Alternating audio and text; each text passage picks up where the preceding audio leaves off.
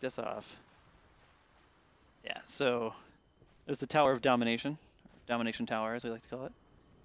Yeah, so we built the wall two tiers uh, taller than it was last time. We'll step through here real quick. The old purple crab, hook crab, pirate crab. All right, so here's the original base next to the Tower of Domination. Put a little inlet there. We've got a nice little hotel here on the left. Coming up here, this is way better in the daytime. You can actually see what the, see what the hell's going on. Um, and then next to the hotel, we have our Fortress of Solitude, also known as our prison. And the reason we have prison is because right here is our courthouse, where we hold our pirate trials. You'll be led into the prison because uh, everyone's found guilty. There is no innocent people in pirate piracy.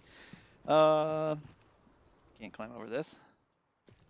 There's the other part. We're going to raise that bad boy up here too, but we just had the idea, so you can't even see over the top of it. This is kind of ridiculous, but you can see the front of it. We've got some stuff now. Uh, this wall is insane. Like the materials required to build that was just unreal. But we're going to start shoring up the front lines here. We left it open so people could wonder at our majesty, this beautiful town. So far, no one's shown up and visited it, so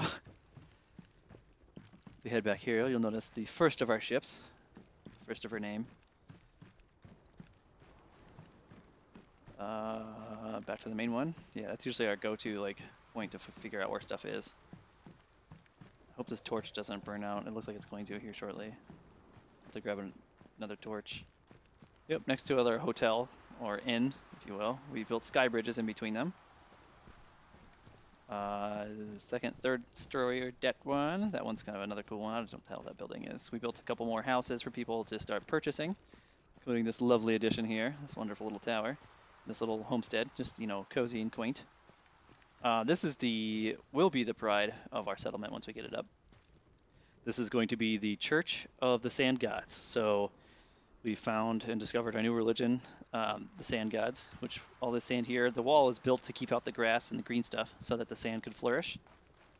The sand is the alpha omega, is a omnipotent being. So each individual grain of sand here is known as Steve. So we are Steve.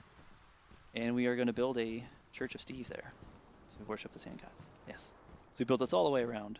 There's that.